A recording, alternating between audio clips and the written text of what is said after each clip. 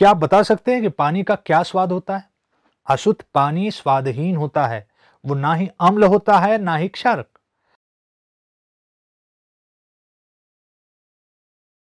कुछ और भी ऐसे पदार्थ होते हैं जो ना ही अम्ल होते हैं और ना ही क्षारक। वे रासायनिक रूप से निष्क्रिय और उदासीन होते हैं। इन्हें सूचक कहा जाता है। वे अम्ल या क्षारक की उपस्थिति में अपना रंग बदलते हैं। हम जानते हैं कि अम्ल हो या क्षारक, सांद्रता के स्तर को जाने बिना उन्हें छूना या चखना हानिकारक हो सकता है। इसी कारण उन्हें पहचानने के लिए विशिष्ट प्रकार सूचकों का उपयोग किया जाता है। सामान्यतः लिटमस पेपर अम्ल और क्षारक पदार्थों के सूचक के रूप में इस्तेमाल किया जाता है। अम्ल और क्षारक में इनका वैश्विक रंग देखा जाता है। अलग अलग परीक्षा नलिकाओं में विनेगर, नींबू का रस, बेकिंग सोडा, तनु एच इत्यादि लें और उसमें कुछ बूंदें फेनोल्फथलीन डालें।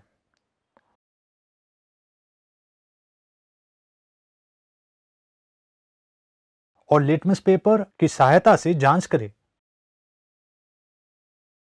और मेथिल ऑरेंज की सहायता से जाँच करें।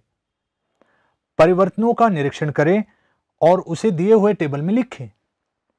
विलयन का नाम लाल लिटमस नीला लिटमस फेनोल्फथलीन मेथिल ऑरेंज विलयन का प्रकार अम्ल या क्षारक।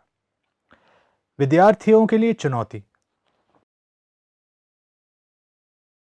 आपको लिटमस पेपर किस प्रकार बनता है, इसकी जानकारी प्राप्त करनी है। किस रंग परिवर्तन से अम्ल सूचक होता है और किस रंग परिवर्तन क्षारक का सूचक होता है। अपनी जानकारी की तुलना आपके द्वारा किए इस प्रयोग के साथ करें। बच्चों, आपने अपने कपड़ों पर खाना ज़रूर गिराया होगा और उससे आपके कपड़ों पर हल्दी के दाग भी लग गए होंगे। क्या होगा यदि आप इसे साबुन से धोने का प्रयत्न करेंगे? जी हाँ ये लाल हो जाएगा। रंग में ये परिवर्तन हल्दी और साबुन में मौजूद अम्लीय पदार्थों में जो रासायनिक अभिक्रिया होती है, इसके कारण होता है। इसके आधार पर हम हल्दी के संबंध में क्या कह सकते हैं? जी हाँ सही कहा आपने। हल्दी प्राकृतिक सूचक है। उसी प्रकार, जब हम बेकिंग सोडा का विलयन किसी अन्य अम्लीय विलयन में डालते हैं, तब बुलबुले नज़र आते हैं। हम सरल घरेलू सूचकों के द्वारा हल्दी या फिर अम्ल में क्षार मिलाकर पहचान सकते हैं कि क्या यह अम्लीय है या क्षारक है। क्या अब आप घर प्राप्त? क्या अब आप घर पर प्राप्त होने वाले सामग्री से लेटमस पेपर के समान सूचक बना सकते हैं? अपने दोस्तों के साथ चर्चा करें और इसे बनाने की पद्धति को खोजें। चलिए, अब हम अम्ल और क्षारक के गुणधर्मों के बारे में जानकारी प्राप्त करते हैं। अम्ल और क्षारक के घटक कौन से हैं?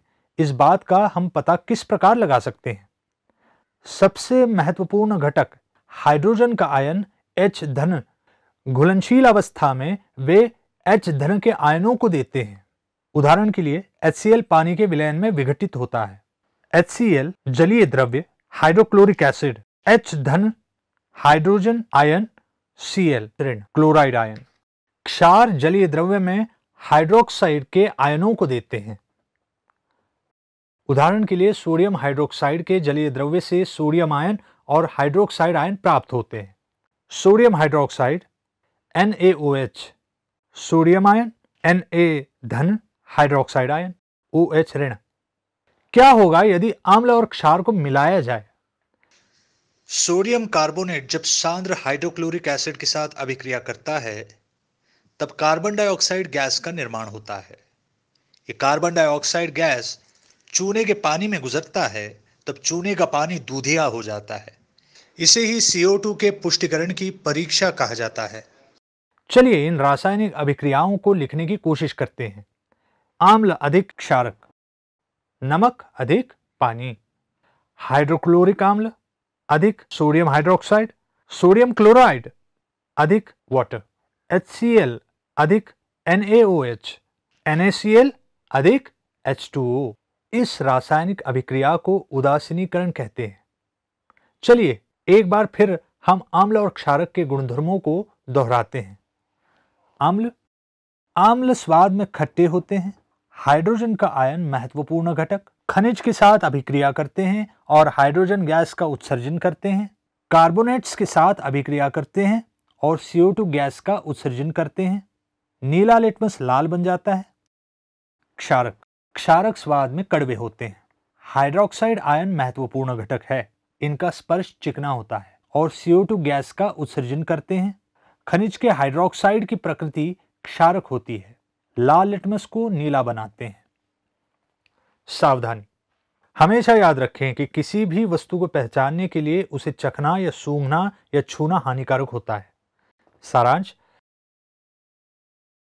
हमने अम्लीय और क्षारक पदार्थों को बिना छुए, चखे या स्पर्श किए सूचकों के द्वारा किस प्रकार से पहचानते हैं ये जाना?